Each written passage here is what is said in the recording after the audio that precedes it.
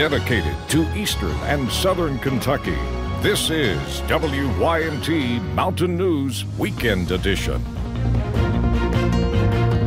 Good morning. It is 7:35 on Saturday, June the 22nd. I'm Will Puckett. Thank you for tuning in to Mountain News this morning, weekend edition. Well, yesterday we got a break from the rain, but at about midnight, that break was shattered. We are back to that soggy forecast, and Brandon is in here this morning to give us a breakdown of what to expect. And Brandon, we're in SWAD because it's going to get ugly. Yes, severe weather alert day coverage continues this morning because the possibility of some heavy rain is around and some strong storms too. Let's take a look at live pinpoint Doppler radar and you can see we're starting to see some of those storms drift into our area. Take a little bit of closer look there at parts of Mount Vernon, Rockcastle County there along Highway 150 along I-75 going back into Laurel County. Just north of London there you can see some lightning in that storm near the Greenmount community there along the border with Jackson and Laurel County. So again, be this morning. We also have those power outages. Want to remind you about over in parts of Pike County near the Dorton area. 627 folks without power there on uh, Kentucky Power's website. The estimated restoration hopefully here in less than an hour. So we'll keep an eye on that, keep you posted. Flash flood watch continues until 4 o'clock this afternoon for the I-75 in Lake Cumberland counties. Out that way, again, they extended that from 11 o'clock to 4 o'clock this afternoon. The Weather Service. Temperatures not moving a whole lot thanks to cloud cover and fog. Visibility issues are rough out there, so take care as you're traveling this morning. Basically a dreary kind of day, maybe some sunshine peeking through at times, but that could also stir up the atmosphere and cause some stronger storms possible later this afternoon and this evening. Uh, the rest of the forecast here in a few minutes. Will? Alrighty, Brandon, thank you. Well, people from across the Commonwealth gathered yesterday at the old Wayland High School gym to remember an Eastern Kentucky legend. King Kelly Coleman, who died earlier this week. He was Kentucky's first Mr. Basketball, and many of the records he set still stand today. WYMT's Macy Marie talked to people who came to the little mountain town to honor their friend. Paying their respects to a Kentucky legend. You know, got to hear some stories more than once, but they were always good to hear. Where he practiced on the side of a hill and the ball rolled away every time he missed the goal. Julian Tackett says he knew Kelly Coleman for several years, but knew about him long before they actually met. Just a legend, literally. And then, of course, his play in our state tournament is still, he still holds records. Coleman led the Wayland Wasp to a Sweet 16 appearance back in 1956 and was named Mr. Basketball that same year. He worked his tail off. His work ethic inspiring those who came after him, like Russell County native Ralph Richardson. He was a respected, outstanding basketball player. But friends say in some ways his skills on the court overshadowed Coleman's other traits. He did not want to be viewed as just a basketball player. He was a very successful man. Saying Coleman was also a businessman and a leader in the community. I mean, these people wouldn't miss this saying the king was not just respected, but also loved. In Floyd County, Macy Marie, WYMT Mountain News. Now, Coleman's visitation lasted until 8 last night. It picks back up at 10 this morning before his funeral at noon. Well, President Donald Trump called off a planned military strike against Iran with it with just 10 minutes to spare in response to the downing of an unmanned U.S. military surveillance drone. The UN Secretary, Security Council rather is expected to meet on Monday to discuss the Iran situation. CBS News' Natalie Brand has more. President Trump tweeted that the U.S. military was cocked and loaded and about to retaliate against Iran for downing an unmanned surveillance drone. Just before the president called off the mission, he says he asked his generals how many Iranians would likely be killed. Sure. Approximately 150. President Trump explained his decision to change course in an interview with NBC's Meet the Press. And I thought about it for a second. I said, you know what? They shot down an unmanned uh, drone, and here we are sitting with 150 dead people. Uh, that would have taken place probably within a half an hour after I said go ahead. Yeah. And I didn't like it. I didn't think it was. I didn't think it was proportionate. The strike plan called for launching multiple missiles at each of the three sites that were part of Iran's air defense system. They would have been fully manned round the clock. House Speaker Nancy Pelosi said she was pleased with the president's measured response. A strike of that amount of collateral damage would be very provocative and I'm glad the president did not take that. Pentagon officials tell CBS News military retaliation is off for now unless or until Iran targets another U.S. aircraft. Retired Admiral and CBS News consultant Sandy Winnefeld says Iran should not be allowed to act with impunity.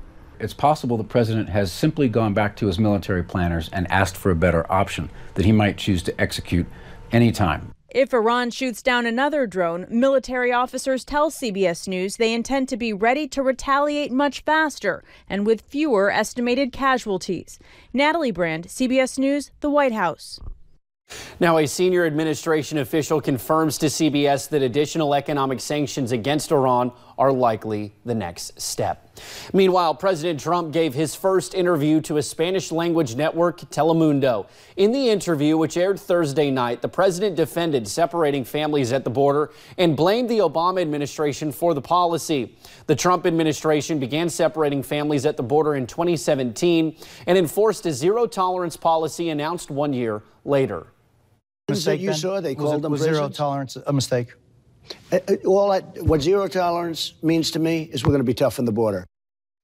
A team of doctors and attorneys issued a report Thursday detailing inhumane conditions at a Texas border control station just outside El Paso. They say they found about 250 babies, children, and teenagers being held without adequate food, water, and sanitation. Some had been detained there for weeks. Well, it is estimated there are more than 10 million undocumented immigrants currently in the United States. Last month alone, almost 145,000 immigrants crossed into the U.S. from Mexico. Most asked for political asylum. Well, a date is set for the special session of the West Virginia Senate. The lawmakers are meeting at 5 p.m. Monday. The House passed House Bill 206 late Wednesday evening. The bill would allow for a staggered implementation of charter schools. It would limit the state to three charters until 2023, then allow three more every year following that. Republican Governor Jim Justice praised the bill, saying it is, quote, a major step towards building new opportunities for our children, end quote. A new study published by 24-7 Wall Street suggests Coca-Cola and Pepsi are two of the largest ocean plastic polluters in the world. Coca-Cola topped the list using 3 million tons of packaging annually. To determine pollution contribution, the study reviewed a 2018 study from the Greenpeace and Break Free from Plastics movement, examining plastic waste in 42 countries. Tests conducted by a California nonprofit found high levels of arsenic in two bottled water brands. The testing was carried out by the Center for Environmental Health. The group found that Peñafiel water and Starkey water contained higher arsenic levels than tap water, high enough to violate California state guidelines. The chemical can cause reproductive harm and cancer, organ damage, and hormone disruption. The Food and Drug Administration has not recalled either brand. Well, Delta Airlines is waiving rebooking fees and offering flight refunds for passengers affected by a technical outage Wednesday. The undisclosed technical issue affected some customers' ability to book tickets and board flights. Travelers complained on social media about error messages and two-hour telephone hold times. The airline says no flights were canceled, but several were delayed. If customers opted to cancel and get a refund, it was issued an airline credit. Yesterday, loved ones gathered at a ceremony to honor fallen officers. The annual event is held to recognize Kentucky State Police troopers and officers who have died in the line of duty. Matthew Rand was at the emotional ceremony and has more. The state police, they honor our fallen troopers and officers all year long, but it's nice to just have us all come together um, here at our academy for one formal event. Flags at the Kentucky State Police Training Academy were lowered to half staff Friday in honor of the 29 KSP troopers, two officers, and six highway patrolmen who have died in the line of duty. I've said it many times, I don't care if the color is brown, green, gray, or blue. It's a fraternity, it's a family. The salute not only to the fallen, but also recognizing the sacrifices of those left behind. We want you to know that we will never forget your sacrifice and the one that your loved one made and that you will always be KSP family to us. It meant a lot to Rebecca Tribby, whose husband, KSP Trooper Anson Blake Tribby, was killed in the line of duty in 2013.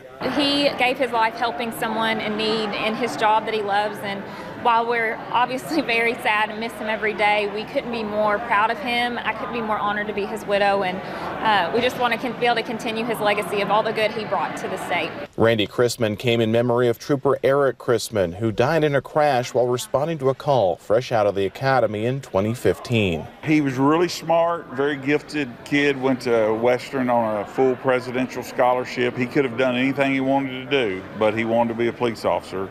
Patrolman Robert L. Rowland, Trooper Mac E. Brady. This yearly ceremony making sure these fallen heroes are never forgotten. Seems like it would be easy for people to forget, but they remember every year, and we, we appreciate that so much. It does give us some peace when that happens. We still miss them every day.